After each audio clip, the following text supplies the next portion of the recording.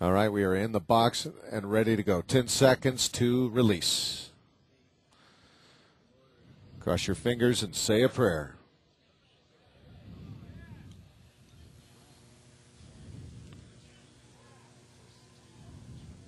Okay, here we go, guys.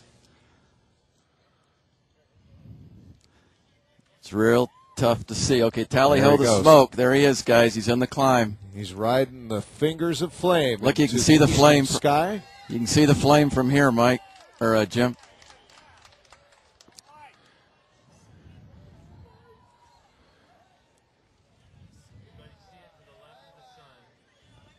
Our webcast viewers are enjoying unprecedented camera coverage from the ground here. A radar locked camera from Edwards Air Force Base tracking Spaceship One as it streaks through the sky to punch through the atmosphere and reach suborbital flight.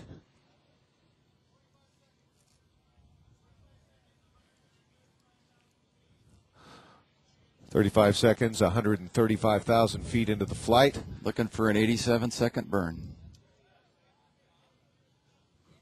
Uh oh. Uh oh. Uh oh. He's in a roll, it appears, at this point.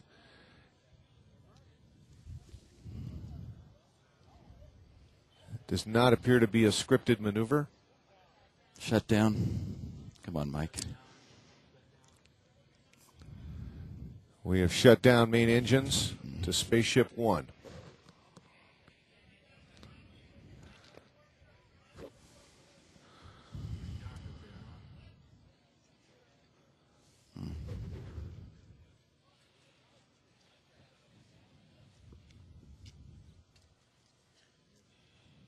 Still in the climb. 250,000 feet, still in the climb. Five knots indicated, so feathers coming.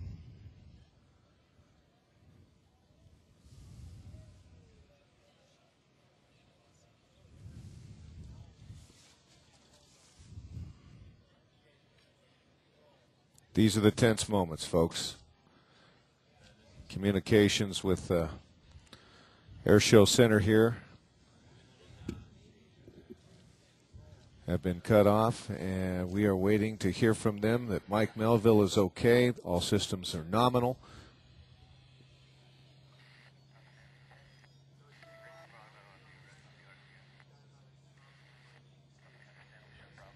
Wow. Look There's your that. downlink camera Look from at that, aboard. Spaceship One, looking down at the Earth.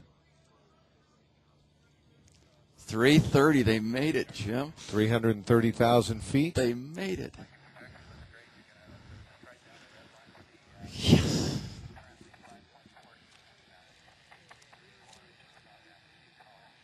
330,000, that would put them over the top. Yeah.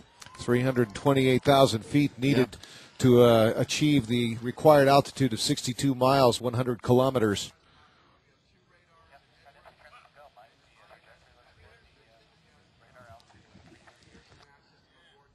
Three thirty-eight. Three thirty-eight.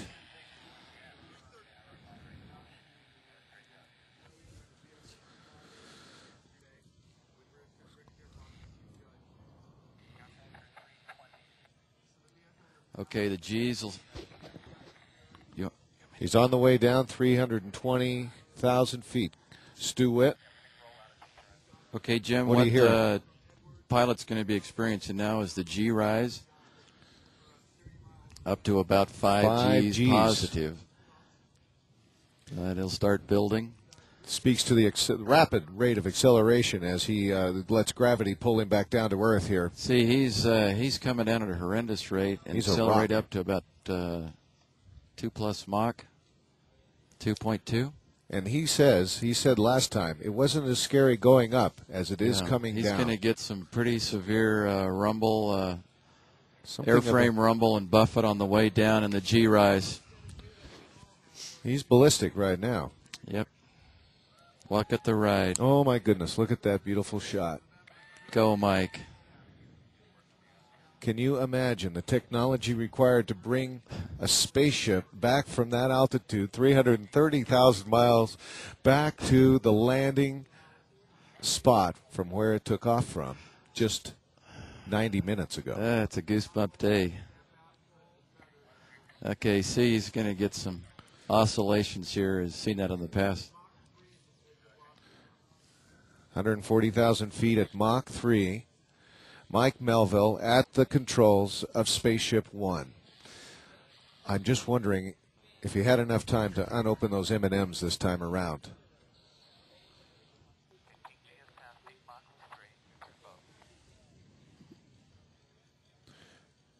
Now he has the he has the tail of Spaceship One feathered here to reduce his rate of descent. Yeah, they got a visual track on him now. Here we go. Here it goes. And you can see the If that vibrations, locks, the we're back into an airplane. Stand by.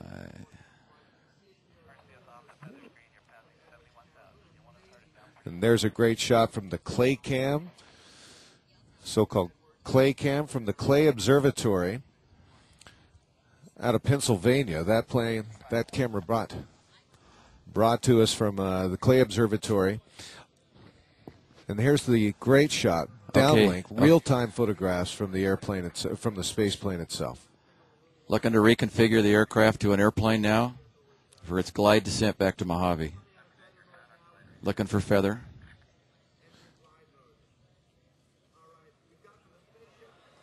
Okay. And now the crowd erupting in cheers Okay, as they folks. can now pick up sight of Spaceship One. Wings are down and locked. This plane, this space plane, this rocket plane is now a glider coming back home. Well, what I'm looking for now, Jim, is the wind, and right now it's calm at Mojave. And This place will erupt. we now have a glider back inbound for the money run.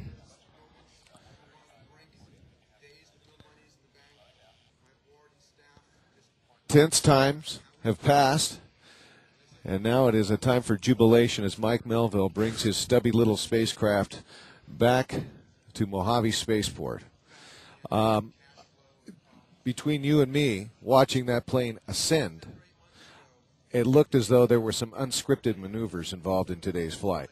I'm going to have to go back and watch it with the gang. Uh, I may be room. overstepping and speaking out of school, but uh, to me, it looked as though there were some uh, some wrinkles in that flight plan that weren't that weren't there and weren't scripted. You know, Jim, I've told the world this is flight tested, its purest form, and uh, it's risky business. Yes, indeed. There's the boom. There's a sonic boom. Sonic boom, folks. Mike Melvill coming back home. We can all breathe once he touches down.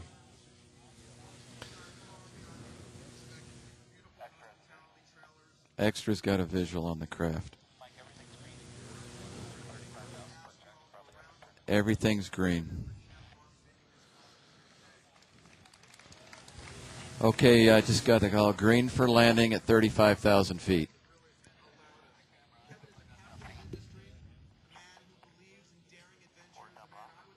And and just a, a kudos this morning to uh, Bob Weiss and his crew at the X Prize Foundation at XPTV for bringing you unprecedented coverage of this remarkable day in civilian aerospace history. Jim, we get to spend another night up on Sunday night. That's right. We want to thank KGET TV in Bakersfield along with KGOV TV for their collaborative efforts to help us bring this story to the folks in Kern County today, Kern County, California, here in the Southern Valley, the Southern San Joaquin Valley, where there is broad support for civilian aerospace research and aerospace endeavors in general. Uh, Jim, I want to let everybody know uh, this didn't start yesterday. Uh, 18 months ago, you came to the airport. We met, and you said, "When this occurs, I want to be a part of it." And uh, you never want to turn down an enthusiastic volunteer. Thanks for your help, Jim, Oh, and everybody behind you. You E-ticket ride all the way, my friend. Happy to help out. Plus, I'm a cheap date, aren't I? You bet. okay, uh,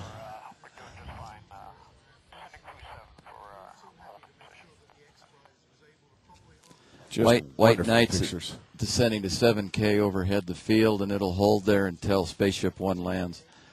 And it will be some time before we get an official determination on whether or not this was a success.